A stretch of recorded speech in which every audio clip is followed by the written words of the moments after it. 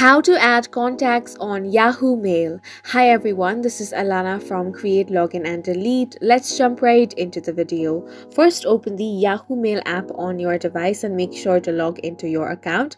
Now you want to swipe and find the option of people. Here you want to tap on View All next to Top Contacts. Once you're on your contact list, you want to tap on the plus icon. Here to add a new contact, the first thing you want to do is type in the name, then enter the company name, and then add a title. Now, if you want to add email, tap on add email.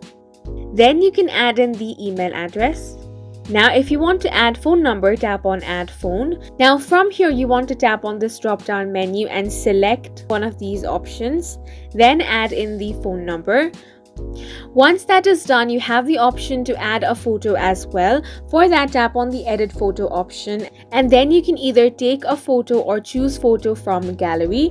Once you have filled in all the information, tap on the stick mark icon and then your new contact will be added. And that's it for this video. Please make sure to hit the like button and subscribe for more helpful tutorials.